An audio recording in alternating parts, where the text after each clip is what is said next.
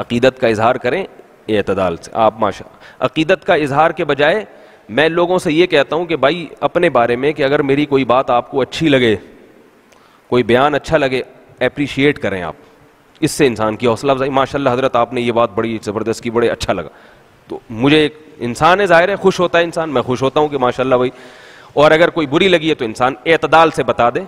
वाट लगाने की कोशिश ना करे। हज़रत, ये जो आपने बात की, इस नुक़ नज़र से मुझे थोड़ा सा इख्तलाफ है। आ, मुझे थोड़ा सा समझने में अदब तमीज़ के दायरे में बदतमीज़ी ना करे अदब तमीज़ के दायरे में वो कर दे।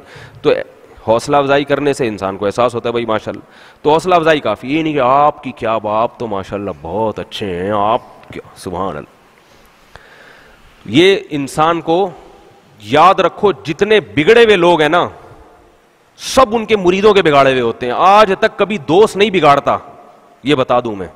मैंने अपनी ज़िंदगी में देखा है बड़े बड़े ओलमा पागल हो गए हैं। उल्टी सीधी बातें करते हैं मिंबर पे बैठ के। क्यों करते हैं? ऐसी ऐसी आदमी हैरान होता है, इनको अल्लाह ने इतना इल्म दिया, इतना तकवा दिया, मगर ये सठियाए हुए क्यों हैं? ऐसी हमकाना बातें क्यों कर रहे हैं? पता चलता है ये सारे मुरीदों मुरीदों की वजह से, मुरीद मक्खन लगा लगा के ना, हज़रत आप तो माशाल्लाह आज आपने सीरत पे तकरीर की, हालाँकि वो पूरी सीरत पे अव्वल आखिर तकरीर झूठ का पलंदा होती है वो। एक भी सही हदीस पेश नहीं की होती। इधर उधर के वाकयात। लेकिन मुरीद जब हाथ चूमते हैं और हज़रत आपने, माशाल्लाह, आपकी क्या बात, आप माश, वो कहते हैं, एक और छोड़ो अगले बयान में ना। जितनी छोड़ी है, इससे डबल छोड़ू बनो।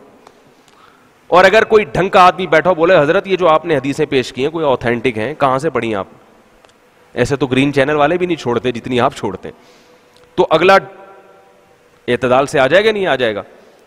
तो हमेशा इंसान को उसके शागिर्द, उसके मुरीद ये हैं जो इंसान को उल्लू बनाते हैं, बेवकूफ़ बनाते हैं, अकीदत की अंधी ऐनक लगा के देखते हैं और बिगाड़ देते हैं इंसान को। तो बूढ़े को इसलिए कह रहा हूँ कि बूढ़े ने तो जितना बिगड़ना था, बिगड़ गया। बूढ़ों में तब्दीली नहीं होती। वो तो अब उनकी तारीफ़ करें, बुराई करें, वो वैसे ही रहेंगे। ये इंसान की जो इससे पहले की उम्र है, ये इसमें इंसान में तब्दीलियाँ आती रहती। कभी इधर को जाएगा, कभी उधर को जाएगा। इसमें एतदाल की ज़रूरत है।